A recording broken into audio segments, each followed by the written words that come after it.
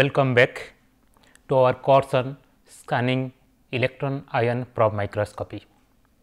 In our last lecture, uh, we have discussed on how to get a good SEM image, what parameters to be chosen to get the desired information from our sample. In that regard, uh, we have uh, discussed on four major uh, parameters that uh, an operator can control.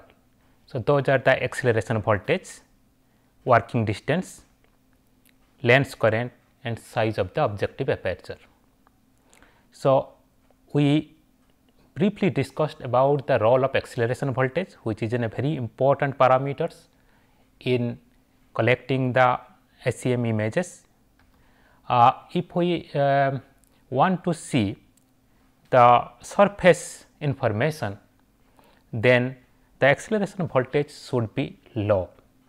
As you know, uh, when we increase the acceleration voltage, then electron beam can penetrate more deeper and once it penetrates more deeper the information signal will be coming from also from the deeper of the more depth from from the sample.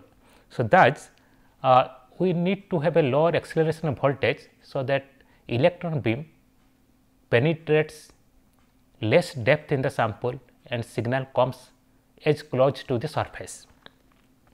Signal are mostly secondary electrons and backscattered electrons those are used for collecting the images and as we know uh, the yield of the secondary electron predominantly increases with the tilt angle. On the other hand, the yield of the backscattered electrons or backscattered electron coefficient increases drastically with increase in the atomic number. And also we know secondary electrons have a lower energy as compared to the backscattered electron. Secondary electrons have energy less than 50 electron volts. On the other hand, backscattered electrons have energy greater than 50 electron volt. So, in order to collect surface information with a much higher resolution, lower acceleration voltage is preferred.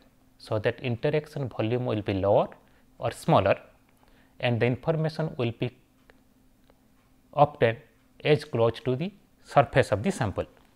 This is about the lower acceleration voltage.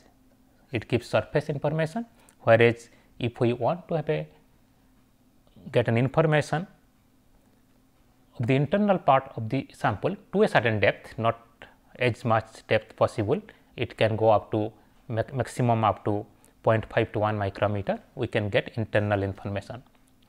Similarly, resolution resolution will certainly be lower in the acceleration voltage compared to the higher acceleration voltage because when we have a higher acceleration voltage then when we can have a smaller wavelength in addition to that more number of electrons will be penetrating or incidenting on the sample therefore, we can have a higher probe current when we have a higher probe currents we can have a smaller size electron beam. As we can have a smaller size electron beam our resolution can be higher with a higher acceleration voltage. Certainly specimen damage will be more with higher acceleration voltage because energy of the incident electrons is higher. Similarly, contamination we have discussed uh, in both cases contamination will occur, but more will be when acceleration voltage will be high because those high energy acceleration uh, high energy incident electrons would decompose the hydrocarbon gas molecules around the specimen and that will make a deposition on the surface thus uh, creating con more contamination, but they are not easy to see because acceleration because of higher accel acceleration voltage incident beam will penetrate more into the sample and therefore, less surface information will come. Similarly, charging up will be more with higher acceleration voltage because more number of electrons is penetrating to the sample or incidenting on the sample. And the last one is the emission of X-rays which is a very important uh, uh, factors to determine the composition of the specimen. Uh, acceleration voltage need to be high to collect X-rays of enough quantity so that it can be detected without much uh, problem. So, in, the, in this regard uh, what you have seen the effect of acceleration voltage on the uh, um, information that to be collected from the specimen. Now, you see an example here. We have here uh, the three images collected at different acceleration voltage. One at the left A 1 is 5 kilo electron volt, middle one is 15 kilo electron volts and C is 30 kilo electron volts. When we say low acceleration voltage, it is normally less than 5 kilo electron volt and we, when we say medium acceleration voltage, it is normally between 5 to 15 and high acceleration voltage means greater than 15 electron volt. So, if we look at these three images, then the A 1 gives the much surface images, cleaner surface images. We could see the surface oxide uh, features in, at low acceleration voltage, but as we increase the acceleration voltage, surface information degraded and with, a very high acceleration voltage certainly we do not get very clear surface features. Another example is here for example, you have a, a sample where uh, in this particular cases it is a uh, GC3N4 polymeric uh, support on which metal particles are decorated. In the leftmost one this is a gold on GC3N4 then middle middle one platin palladium on GC3N4 and the right side one is a alloy of gold palladium on GC3N4. So, GC3N4 here in the GC3N4 we have uh,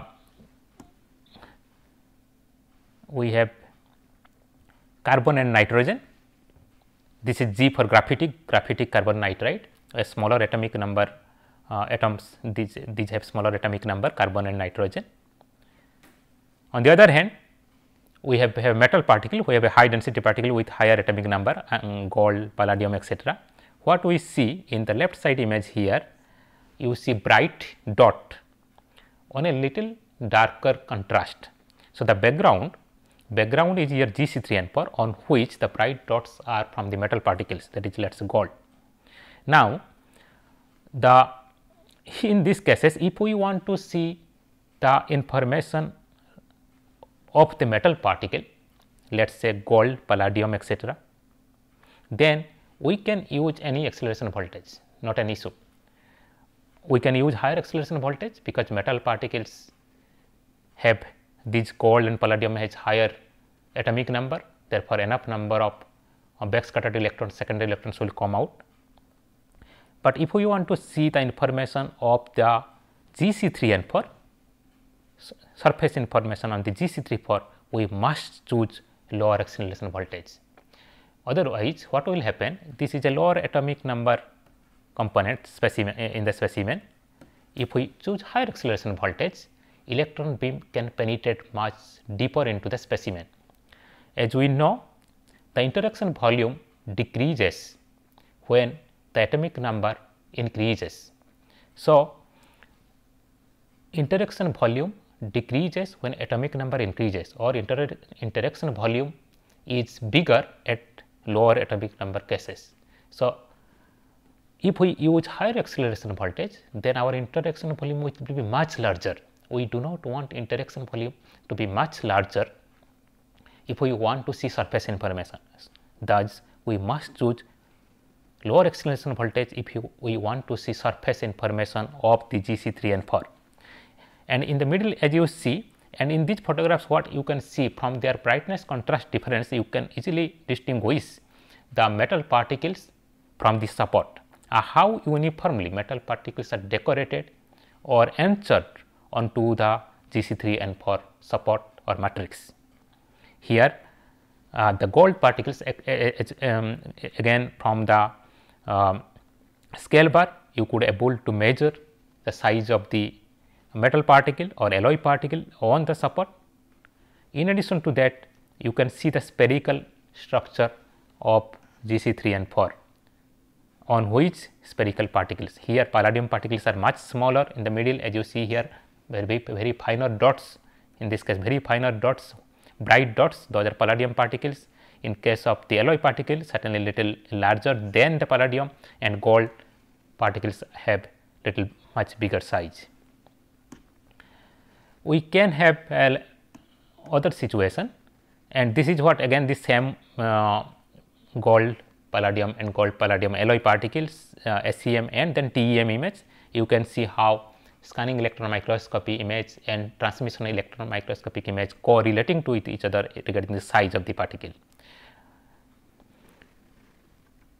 Here is the schematic diagram and how we can choose uh, why we can choose different acceleration voltage to get different information. The first case is our uh, the same cases we have discussed before.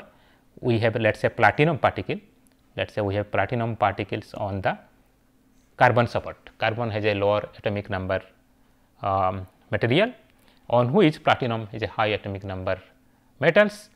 Uh, platinum is sitting on the carbon, carbon or any kind of say polymeric or material with which has low atomic number.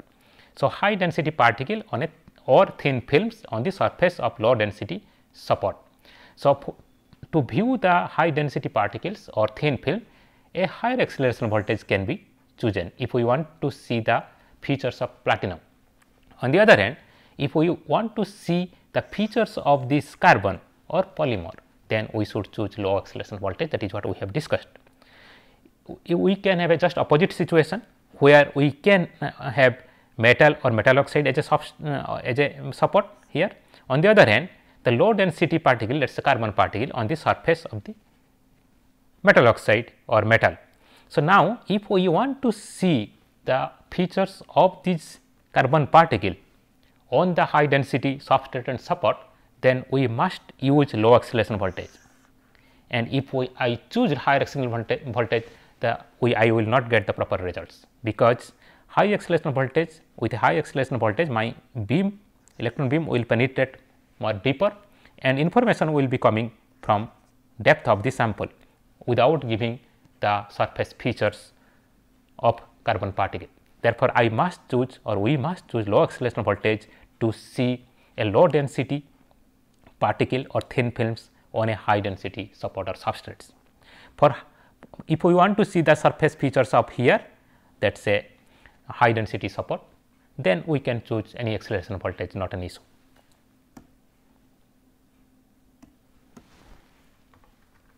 Then we can also have that the low or high density particle is embedded into the low density support as you see in the top.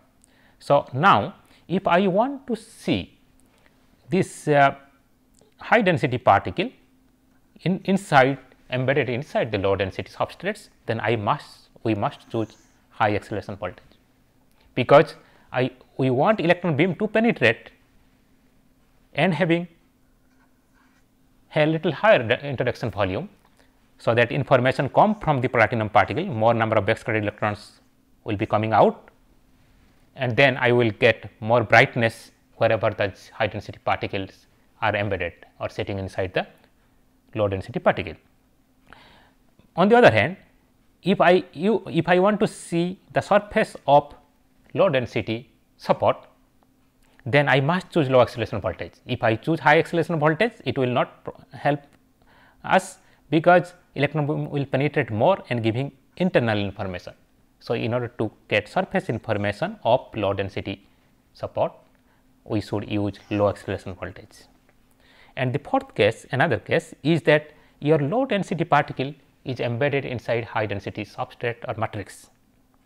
In these cases, if you choose low acceleration voltage, you will see the surface of high density material surface.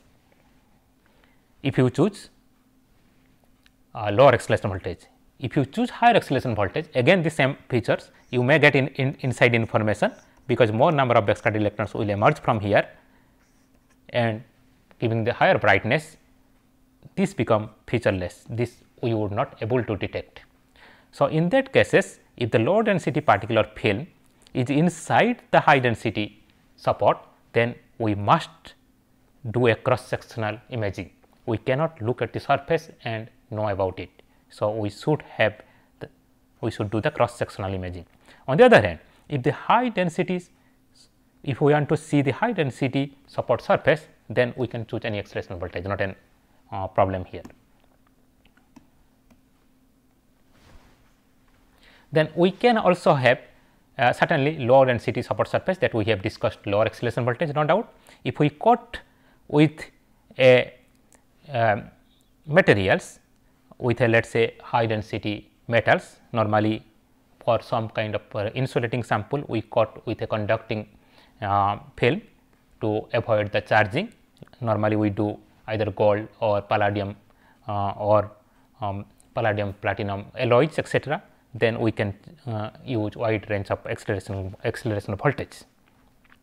In this way we can choose different acceleration of voltage to know about the sample surface structure and what the information we are looking for.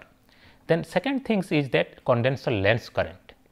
After electron guns then we have a condenser lens current and that condenser means it will condense the electron beam to make it a smaller beam.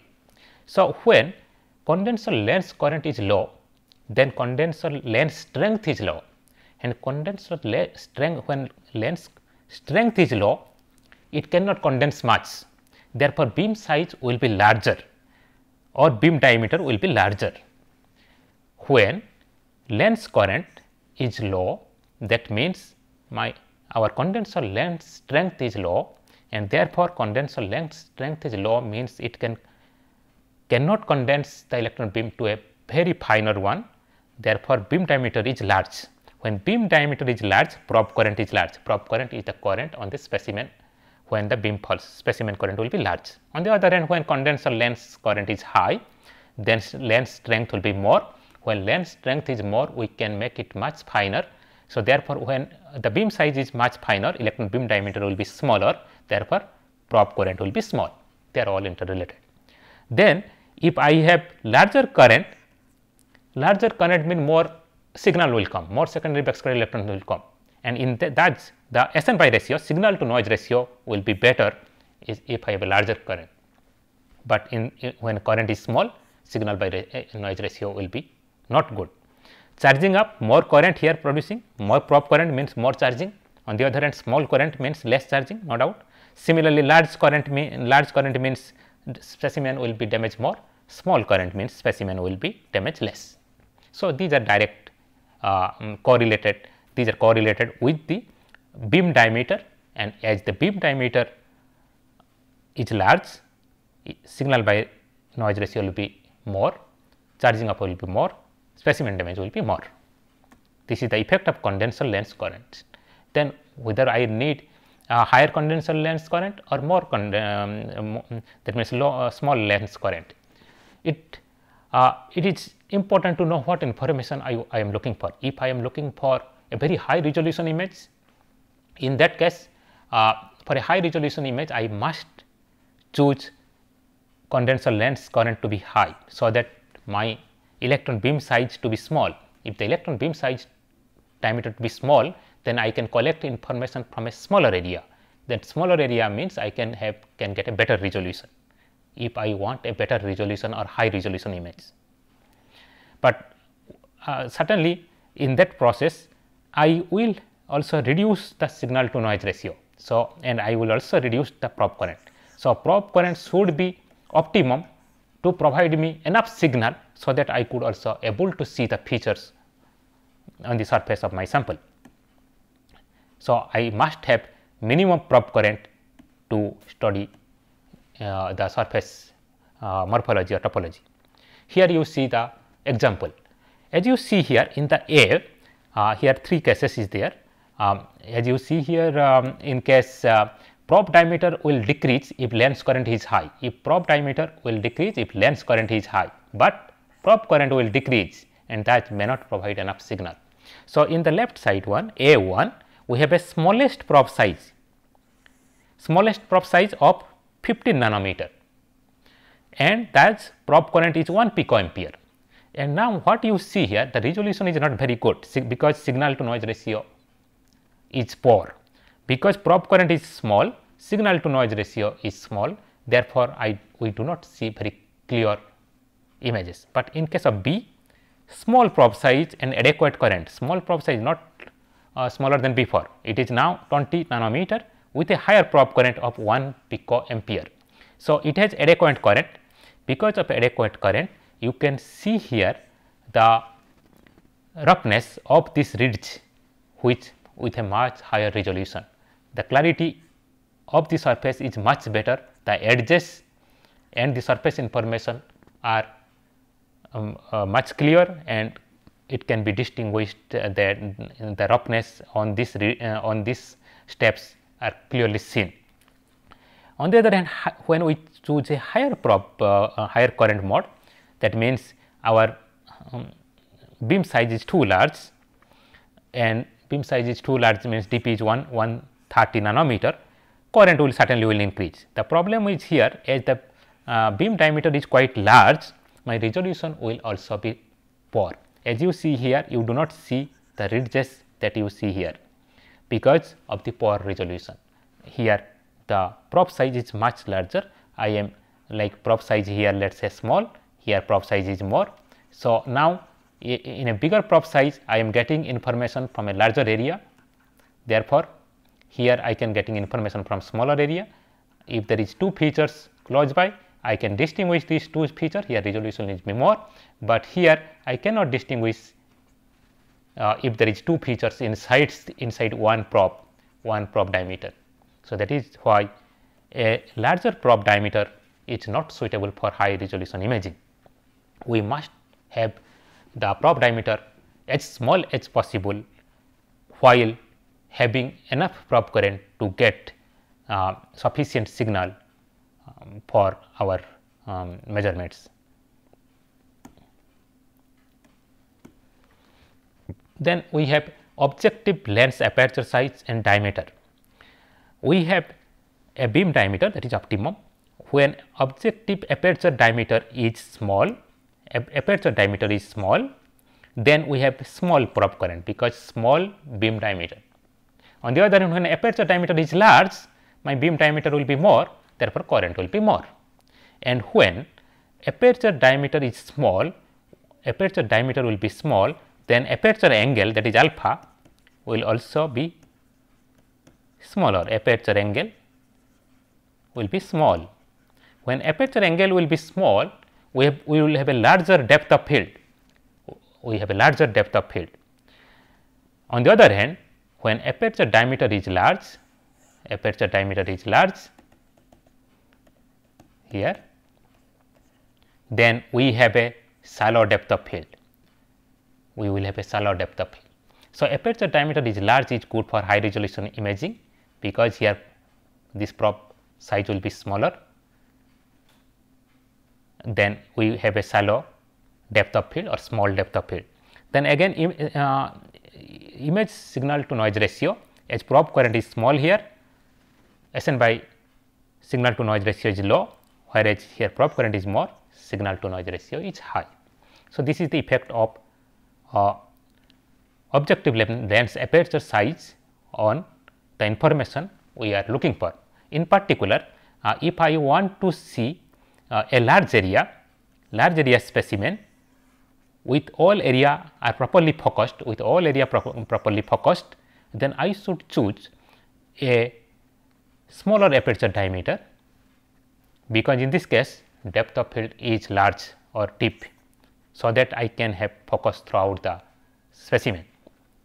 On the other hand, if I want to see a higher resolution, uh, higher, higher resolution sample, uh, higher resolution, um, uh, resolution image, then I should choose aperture diameter to be large. So, when a high resolution, we, we normally um, examine small area. So, uh, the smaller depth of field is acceptable. Here you see the difference. Uh, in the left side one, as you see in the left side one, there is no clarity of uh, the image or the specimen surface throughout the area. Like in the top uh, right uh, you, we do not see it which is a quite dark in this case quite dark very less signal is coming out and because of uh, small uh, depth of field. But in these cases right case the image is quite clear throughout the throughout the area we are investigating and we could see everywhere the image is focused because it has a smaller angle of aperture or beam divergence angle that is alpha. The smaller the beam convergence angles larger will be depth of field larger uh, depth of field. So, that is why depth of field. That is why we could see the whole image are well focused. On the other hand it is not in other cases where the objective uh, where the convergence angle is more. Then we then if we see the effect of working distance as you know working distance is the distance between the objective lens and the focal point. The last part of the lens that is objective lens and the focal point. Now, if the focal length is short if the focal length is short then we have to have objective lens strength to be strong. That means, focal length is short means we have to have uh, more uh, current in the lens current, lens strength to be more. When lens strength to be more, beam size will also be smaller and focal length will be also smaller. It is just opposite in other cases. Uh, objective lens strength when weak, then beam size will be also beam diameter will be uh, bigger and focal length also will be bigger. When focal length is bigger, then depth of field will be larger. When focal length is shorter, depth of field will be small. And electron beam diameter certainly when a smaller focal length electron beam diameter will be small. On the other hand, it will be large here. So, for high resolution imaging, we should choose short working distance. Short working distance. For uh, low resolution imaging, if we want to see from a, uh, for a larger area sample, throughout the region we have well focused, then we should use long working distance which has a larger depth of field. So, this is the uh, effect of working distance on collecting uh, for collecting the uh, images. So, what we have seen the effect of acceleration voltage, effect of um, um, objective lens aperture, condenser, condenser lens strength and also effect of working distance. So, in conclusion suitable parameters should be chosen to obtain the desired information from this specimen. We should know what type of sample we have and what information we are looking from the sample. So, accordingly uh, the suitable parameters must be chosen to collect the image. Higher or medium acceleration voltage can be used for high density sample whereas for low, uh, low acceleration voltage should be used for low density sample. Also I, I, also want to um, include one more point here that if you want to see the high resolution surface image or topology of the sample, then preferably lower acceleration voltage uh, lower acceleration voltage is preferred because it will have a smaller um, interaction volume. Similarly, smaller objective aperture or long working distance is preferred for larger depth of field uh, to collect the image with a larger depth of field well focused throughout the specimen or area under investigation. Similarly, larger objective aperture and smaller uh, working distance is prepared for high resolution imaging. These are the some of the important points uh, that also take care. So, summary of the electron microscopy is that our electron beam is falling on the sample, then we have secondary electrons which is more closely comes from the surface close to surface. Then below below which we have backscattered electrons coming, backscattered electrons are coming BAC are coming. Then from other region we, we will have a X-rays. So, secondary electrons are prepared for surface topology, surface topology and backscattered electrons for elemental composition, composition, orientation of the crystal um, whether material is crystalline or amorphous all these information will give the secondary electrons. And we will be discussing uh, in next uh, couple of lecture how the crystallinity of the materials can also be uh, uh, found using the scanning electron microscopy and how the X-rays energy of the energy of the X-ray can be used to know the composition of the material. So, this we will see in next couple of lecture. So, these are the references and uh, thank you very much.